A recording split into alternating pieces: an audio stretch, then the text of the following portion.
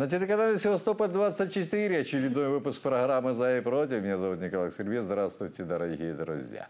В отличие от обычного регламента передачи, звонить сегодня по знакомому телефону 54 62 72 не следует. Ну, во всяком случае, э, первые 10 минут. С декабря прошлого года в Севастополе реализуется проект по гранту президента России «Весы Фемиды. Равные гарантии защиты прав жителей города Севастополя». Он направлен на оказание безоплатной правовой помощи. В рамках вот этого, программ... э, этого проекта сегодня очередной выпуск программы Совета юристов. Э, Спешу представить мою гостью. Это Алена Сергеевна Павленко, юрист проекта. Добрый вечер и спасибо, Добрый что вечер. вот в, в этот уже по, по ненастному холодный вечер вы сумели прибыть в нашу студию вовремя, и мы с вами сейчас начнем э, нашу привычную работу. Давайте все-таки напомним нашим телезрителям, особенно тем категориям, которые попали в этот проект, да, или в этот грант, да, Да. что же э, представляет собой сам проект и какие категории граждан могут воспользоваться, так сказать, э, вашими услугами вот в рамках этого гранта. Ну, Сам проект рассчитан на помощь э, жителям города Севастополя, которые имеют э, социальный статус, льготную категорию граждан, а именно это инвалиды первой и второй группы, пенсионеры по возрасту, малоимущие, многодетные, ветераны Великой Отечественной войны. Ну, также список не ограничен, там, как говорят, расширен. Там это основные 12 категории. категорий, Да, но это да? основные категории, ну, в принципе, которые и обращаются в основном. Эм, По сути, Хорошо. Э, Немножечко о формах. Какие формы включает вот, э, самопонятие, да, безоплатная правовая помощь? Э, включает следующие формы. Это устное консультирование, э, как и в телефонном режиме, так и при посещении э, лиц в офис непосредственно Севастопольского центра права, ну, где мы проводим консультации от миротворца. Также это составление различные формы юридических документов и непосредственно представительство в судах. Конкретно льготных категорий граждан. Ну, очевидно, консультирование превалирует в этом, э, Да. в, в этом Больше перечне услуг, так сказать, Основная юридических. Да. Э, Проект, в общем-то, существует э, э, с конца прошлого года, с декабря прошлого года, да, и Уже э, почти вот год. Да, уже почти год, совершенно верно. И уже какие-то итоги, а мы э, ежемесячно какие-то итоги э, проводим, подводим, да, вот э, сколько граждан Севастополя воспользовались этой возможностью, пришли к вам и получили квалифицированную юридическую помощь в той или иной форме. И в какой форме, да, вот давайте так. Ну, скажем так, э, больш- большее количество, очень большое количество граждан э, получило как и письменные, так и устные консультации, также и представительство в суде.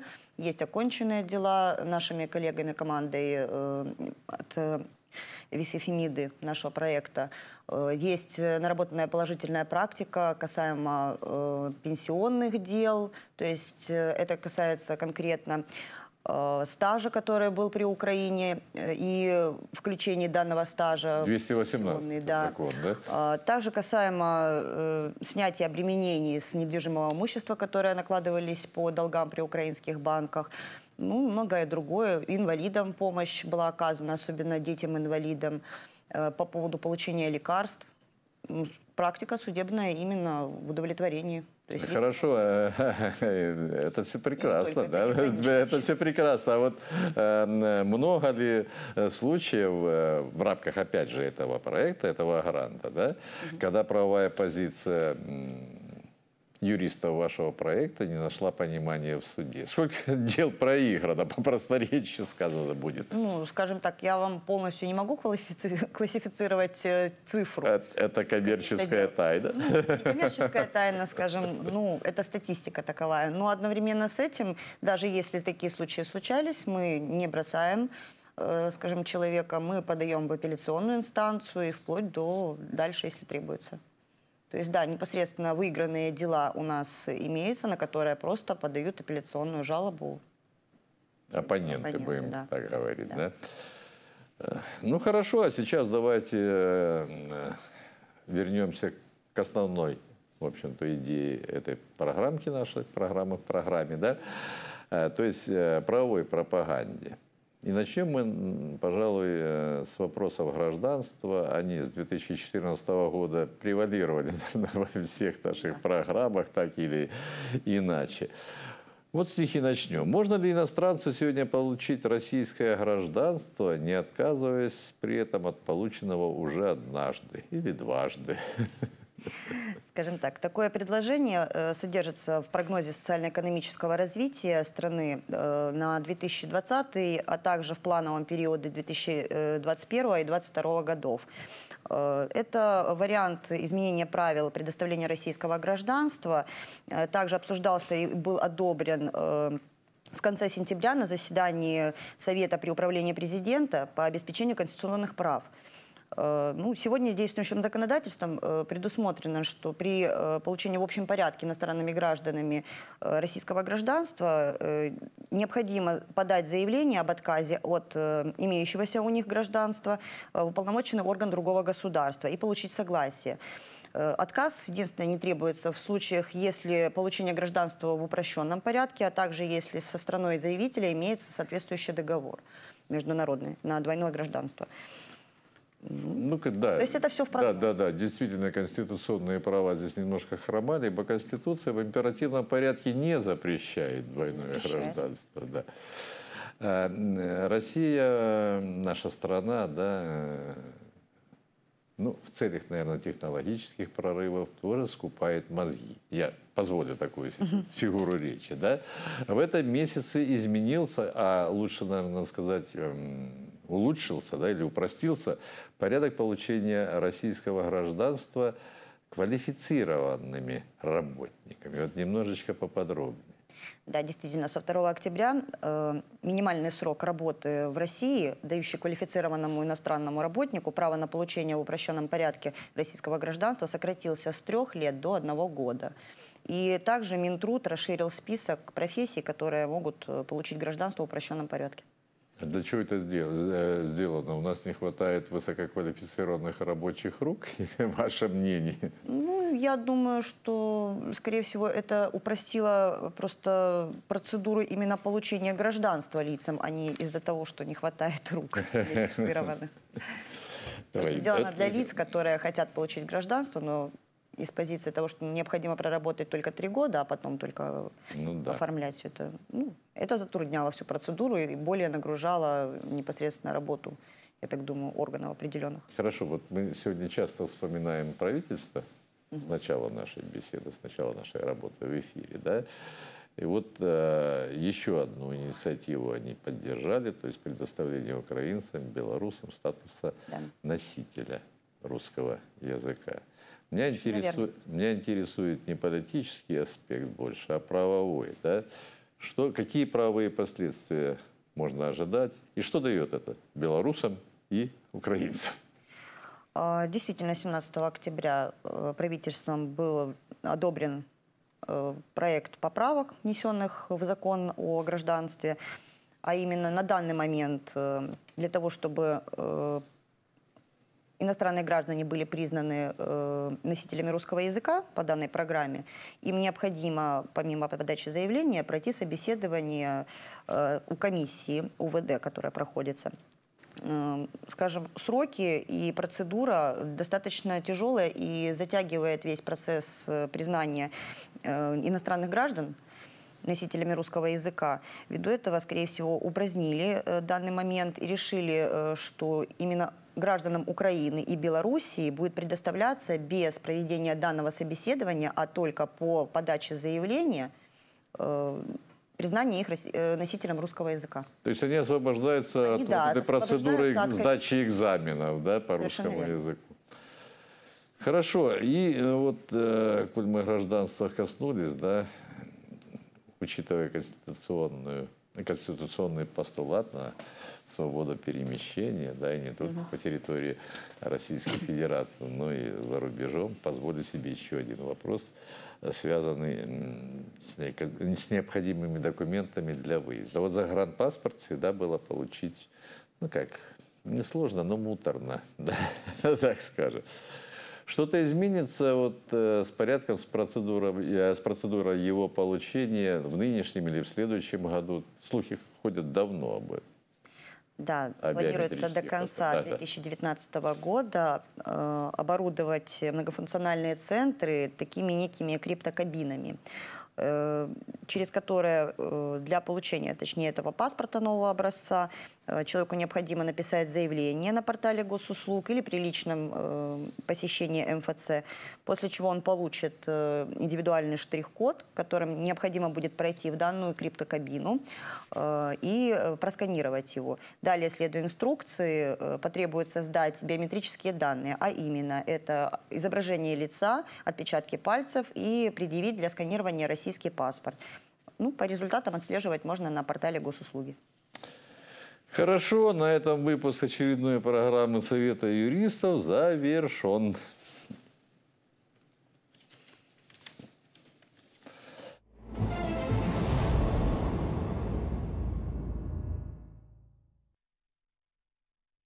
Ну, а мы продолжаем нашу работу уже в прямом эфире программы «За и против». Э, Номер нашего телефона, эта информация для телезрителей не изменился, 54 62 72. Звоните, задавайте свои вопросы, Ну, можете принять участие, в принципе, э, в нашей беседе. Хорошо. Министерство юстиции, такой э, довольно сильный орган, допустим, там, Пятой Республики, у нас тоже набирает, по-моему, силу, да, потому что вот, э, ну, инициативы законодательные постоянно оттуда мы слышим. Значит, на сей раз Минюст опять грозит злостным неплательщикам алиментов. Да?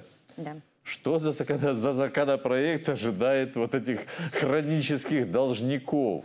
Ну, скажем так, э, данный законопроект направлен на закрытие лазейки для таких нерадивых родителей, которые изредка перечисляют своим детям минимальные какие-то символические выплаты, дабы избежать э, в дальнейшем э, административной и последующей уголовной ответственности за злостное уклонение от уплаты алиментов. То есть, если ранее э, судам необходимо было э, установить факт э, имеется ли уклонение либо нет, то сейчас достаточно самой просрочки выплаты а- по алиментам. Для того, чтобы... Для Полной начала- суммы или нет? Как это? Э, Не полной суммы. Не полной Нет, не полной суммы. Существует прожиточный минимум на ребенка, э, и в любом случае можно подать в твердой денежной э, сумме фиксированной, как Это и в в принципе да, в процентной, зависимости от решения суда, Да, понятно. совершенно верно. Э, Но э, данная выплата алиментов не может составлять, э, скажем так, вот тысяча рублей в месяц на ребенка, поскольку это в первую очередь нарушает права ребенка и как минимум просто со стороны родителя это неправильно. Поэтому, дабы не было таких уклонителей, э, решили сделать в два этапа, а именно для начала человек, который уклоняется, привлекается по э, Кодексу об административных правонарушениях к административной ответственности. В случае дальнейшего э, игнорирования и неоплаты и накопления задолженности по выплате по алиментам, человек привлекается уже непосредственно по статьям Уголовного кодекса Российской Федерации. Ну и, в принципе, это, вот, в общем-то, соответствует и актам международного права, Конечно, да, вот так, ребенка, вспоминая на лету статью третью, да, Конвенция о правах ребенка, да, все наши государственные органы, и судебные в том числе, да, принимают решения исключительно в интересах ребенка. да. Это-. И это правильно. Я думаю, что Минюст действует и в рамках этого международного акта. Алена Сирин, Бывает, что, э, в общем-то, право собственности, ну, не совсем или совсем не радует такого правообладателя. Да? Речь сейчас пойдет о собственниках э, ветхого жилья, ну, у которых, э, если оно ветхое, да, не было средств на ремонт, а тем более нет средств на покупку новой крыши над головой. Вот что за инициативу в этой связи предложил Минстрой Российской Федерации? Ведомство предлагает дать э, региональным А властям меня будет право, еще один коварный вопрос. Хорошо, хорошо.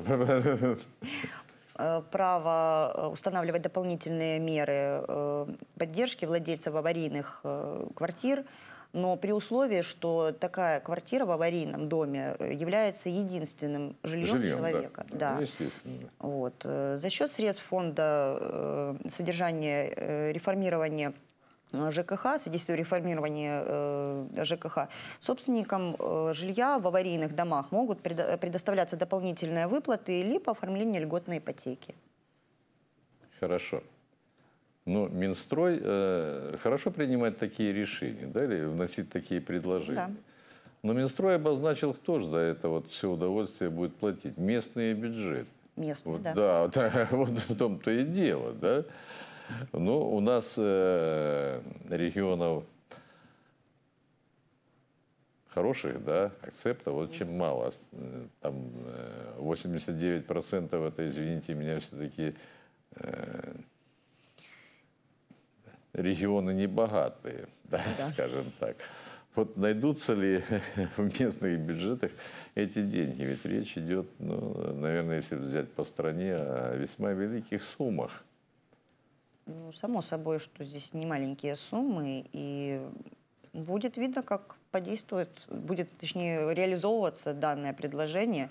И я так понимаю, что, скорее всего, это будет уклон на льготную ипотеку. Это, Вы не, всего, не за что банка. норма, если даже она появится в законодательстве, будет мертвой? У нас таких норм много, которые Вполне есть, но возможно. не работают. Вполне да. возможно, потому что если брать данную ситуацию касаемо вот э, даже не аварийного жилья, а ну, допустим, изъятие да, для государственных муниципальных нужд. Э, В законодательстве предусматривается то, что предоставление иного аналогичного жилья, правильно? Но при этом у нас э, ответы поступают, по которым, к сожалению, сейчас в строительстве, э, ну, точнее, на территории города Севастополя не проводится строительство и нет возможности, ввиду чего де- делают в виде денежных компенсаций выдачу денег людям по, скажем так, оценкам, которые ну, человек не совсем может на вторичном Ну, либо первичном да, да, ну рынке и- приобрести да, себе и- изъятие, что вы же согласитесь со мной, э, производится по решению суда, да, вот. А, а здесь то решение суда не надо будет. Вот я не знаю, как эти люди будут добиваться.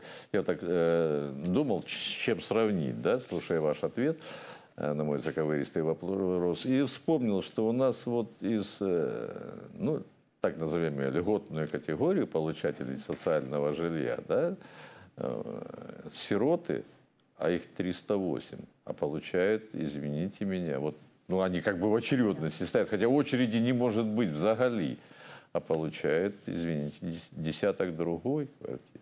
И когда эта очередь исчезнет, я не думаю, К сожалению, что, имеется что владельцы... проблема. да. Я думаю, она не будет устранена такими поправками. Ну, Так поживем. это, это, в общем-то, не, не, не инициатива, скорее всего, да, не норма творчества, а пиар какой-то. Вот. Такое предположение у меня появилось после... Я думаю, это стоит задать После прочтения, Минстрою. да, ну, да. Хорошо. Вступившие в силу новые положения Гражданского кодекса, на мой взгляд, мало обрадует еще одних должников. У нас не только по алиментам много должников в стране, э, ну и, так сказать, внутренних в рамках ТСН, дачных кооперативов и так далее. Вот э, что теперь э, ждет, ждет таких хронических должников, садоводов, дачников и тому подобное, эту категорию, да? Ну, в общем, действительно, э, очень долгое время, я думаю, так председатели правления садовых товариществ ожидали внесения норм, э, изменений, точнее, в Гражданский процессуальный кодекс, поскольку должников действительно очень много, вот приходят, обращаются к нам и председатели ТСНов, э, как образумить наших членов садового товарищества? И как взыскать долги? и как взыскать с них эти задолженности, да, не отключать же им, скажем так, жизнеснабжающиеся ресурсы. Нет, отключают, электрический не, газ, не, вот. явля- не являясь неправомерно, Это совершенно неправомерно. верно, да, да. Да. И Не будут брать, отключив да. газ, помните? Ранее приходилось подавать э, в суд в исковом порядке, взыскивать там, через приставов. Сейчас упростилось. То есть э, направление может обратиться в суд э, э, о выдаче судеб... заявлением о выдаче судебного приказа к мировому То есть суду. упрощенная Да. процедура. И с данным решением, э, данное решение, точнее, направляется в банк, и э, с должника будет списана либо со счета, либо с э, карты э, данная сумма задолженности. А если эта сумма превышает 50 тысяч? У нас сейчас, э, ввиду изменений, Сейчас, сейчас мы коснемся, коснемся. рассматривают до 100 А если больше 100 тысяч, то в районный суд пожалуйте. Понятно. Хорошо. Теперь давайте, наверное, перейдем, э, может быть, для граждан пока еще не злободневной темы, но все-таки так называемая малая судебная реформа. Или вот э, у меня были здесь в гостях недавно э, руководители, значит, адвокатской палаты, они называют это э, значит, эволюцией законодательства процессуального, да? Ну, как хотите, так и называйте, но с 1 октября вот новые изменения в законодательстве, в том числе и процессуальном, вступили в силу. Вот э, новые требования к представителям сторон вы охарактеризуете, что же там за требования новые появились? Они, на ваш взгляд, это второй будет вопрос, да? Они, на ваш взгляд, облегчили ли доступность к правосудию граждан наших? Ведь любая судебная реформа должна быть направлена на это, на доступность и защиту прав, да? Это 58 статья, правда? да? Совершенно верно. Да, конечно. Да. Но э, одновременно с тем, где-то, конечно, и коллеги, мы тоже обсуждаем среди коллег эти изменения с 1 октября, которые, собственно говоря, вступили в законную силу. Э, Где-то эти изменения направлены действительно на улучшение так называемой э, юридической защиты э, прав человека, ну, где-то они не очень удобны. Вот, например, что касаемо представительства интересов в суде, да, э, то здесь, я считаю, вполне актуально э, то, что представителями теперь могут быть, э, представлять интересы, точнее, граждан могут только при наличии диплома о высшем юридическом образовании и доверенности. Доверенность – это в случае, если без э, доверителя участие в суде принимается. Также у нас никто не, отменял часть шестую статьи 53 ГПК, которая позволяет по устному заявлению самого непосредственно истца э, допустить по устному ходатайству в качестве его представителя юриста. Но вот насчет диплома я абсолютно согласна, потому что бывает такое, что люди обращаются э, к своим знакомым, э, и те, не имея даже близко никакого представления, вот мне далеко ходить не надо, у меня на личном примере буквально пару дней назад был иск э, в нашу пользу, слава богу, но там было вообще очень ну, я считаю, что это клоунада. Человек при- э, привел три представителя, без э, высшего образования ни у одного не было, и они просто затягивали рассмотрение Процесс, процесса, да, да, это и понятно. это было не нужно, то есть в итоге они не выиграли дело, но затянули нам рассмотрение, которое можно было в рамках данного дела рассмотреть за 15 минут, мы его рассматривали порядка 3,5 часа. То есть Да, это работа суда Они не, нагружается. не только затягивают Если про- человек про- грамотно- грамотно, процесс, но и всё из себя судью. Да, да, который- Судью, может, и не выводит, но... Да выводят. Я По крайней был мере, свидетелем, да, свидетелем. Хотя, с другой стороны, я сегодня тоже был на одном из судебных за- заседаний так, э, и пошутил там в кулуарах. Говорю, скоро придется все свои дипломы носить, чтобы представить интересы кого-либо. Ну, в общем-то, мы сейчас так и носим. Да, да. Мне в данном Хорошо. приходится их Но, да, новые требования существуют, опять же, с 1 октября и в оформлении э, заявлений, исков, да, исковых заявлений. Вот это я считаю, конечно, неположительным изменением на самом деле, потому что Давайте расскажем гражданам, что утруждает процедуру. изменения, да. Объясню теперь по сути, что изменилось. Теперь исковые заявления, как и в арбитражном процессе, э, истец не, э, истцу необходимо направить по почте всем лицам, участвующим в деле, с приложением копии документов. При этом документ, подтверждающий отправку почтовую с описью, необходимо приложить э, к иску и направить непосредственно сдать в суд. То есть, э, если ранее суды сами, мы сдавали в канцелярию по числу лиц э, с копией приложения документов, э, и суды сами направляли сторонам, то сейчас истец или его представитель должен скажем так, потратить больше времени, потому что необходимо пойти на почту, это отправить, еще приложить, еще съездить в суд и это все сдать.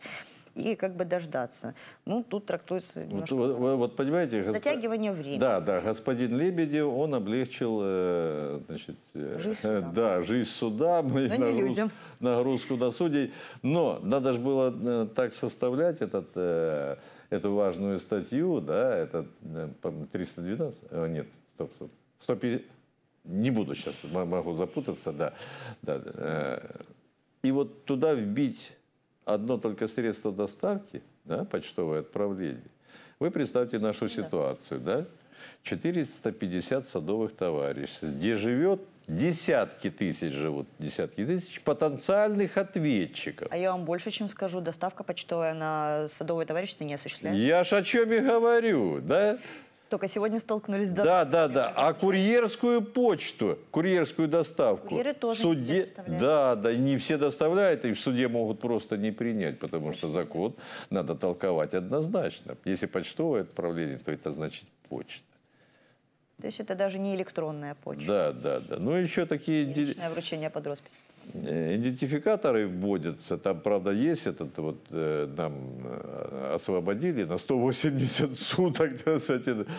Ну, чтобы узнать у ответчика, да, номер э, паспорта его получения, или номер э, удостоверения, или ИНН, ну, так задачу ставят. Нет, эта норма, на самом деле мы уже сегодня смотрели данные норму, эта норма не обязательно в данном случае, если истец не знает этих данных. Достаточно адреса, фамилия, имя, отчество ответчика. Ну, понятно, что идентифицировать и направить куда-то по адресу. Вот я больше чем уверен, ч- что через время, там через полгода, обобщая судебную практику, пленум Верховного суда остановится и на этом вопросе. Может, То есть, на мой взгляд, ну не прописано. Вот юридическая просто техника написать э, совершенно верно. А о чем мы говорим? О чем мы говорим? То бишь, вот э, то, что э, указано в первых статьях да, ГПК, Гражданского процессуального кодекса, равность в суде, да, состязательность. Вот мы на первом этапе уже ставим истца в не то положение, как ответчика. Да? Собственно, да. От- Ответчик э, находится в более, так сказать, благоприятных условиях. Есть у нас еще немножко времени. Как изменить... Минута? Ой, мало. Две минуты. Ну, всё, успеем. Да, как изменилось, опять же, в процессуальном кодексе сроки, в течение которых нужно подать заявление о возмещении э, судебных расходов, чтобы не потерять эти деньги. Раньше было хорошо, было су- раньше их не суда, уста- да, они не да, были да. установлены. Да, да, нет, но о- о- э, о- общий И срок применяли общий, да, Да, да, сроки. три А года и все, можно в А любое Сейчас время. установили, извините, э, в течение трех месяцев со дня вступления судебного акта в законную силу. Законная сила. Хорошо. И еще, вот мы касались э, вопроса рассмотрения э, дел мировых, э, мировым, мировыми судьями. Да, где теперь можно разрешить спор, допустим, в рамках того же закона о защите прав потребителей, сумма опять не, До 100 прев- да, не превышает 100 тысяч. Да, так не В превышает. мировом суде. В мировом суде. Совершенно верно. Если бы было раньше до 50 тысяч, то сейчас увеличили до 100. Хорошо. Ну и пару слов, э, что у вас на ближайшую перспективу в этом по э, отработке этого гранта? Э, Мы, значит, наш координатор проекта Андрей Владимирович Гефман сейчас пишет на продление данного проекта. Мы планируем далее помогать жителям Севастополя, поскольку все-таки года недостаточно. Дела в судах, сами понимаете, длящийся характер имеют. И не все дела мы успели завершить. Есть э, список незавершенных еще дел в процессе. Поэтому мы хотим, э, чтобы нам увеличили срок, продлили для дальнейшего оказания помощи лицам, которые действительно нуждаются в правовой помощи и не могут э, обеспечить себе платные услуги. Как ни странно, но время программы нашей истекло. Я хочу напомнить телезрителям, что это была Алена Сергеевна Павленко, юрист проекта «Весы Фемиды. Равные гарантии защиты прав жителей города Севастополя». Спасибо вам и до встречи через месяц. А у нас на сегодня вся информация. Всего вам самого доброго. Берегите себя, особенно берегите своих близких. Честь имею.